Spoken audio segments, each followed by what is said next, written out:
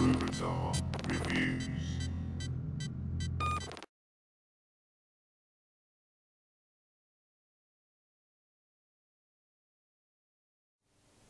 Hi, welcome to Troubadour's videos. Today we're going to check out EVGA's new 4-way SLI classified motherboard. Here it is, the EVGA X58 classified 4-way SLI motherboard.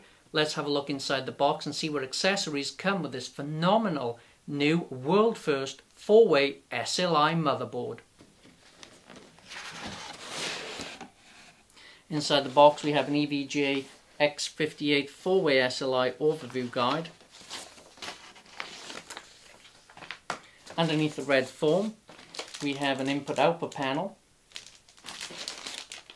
the EVGA ECP or EVGA control panel, a regular SLI bridge, and a three-way SLI bridge. In the other side of the package we have an assortment of SATA cables, hard drive cables and power dongles for Molex to SATA.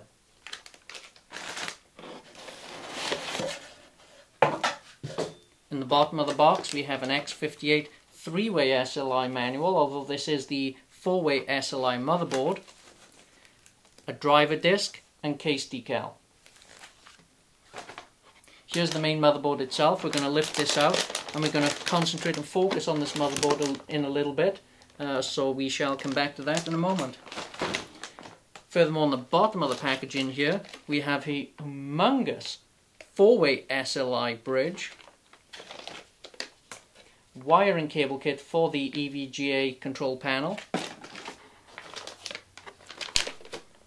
and we have a FireWire and USB 2-port adapter.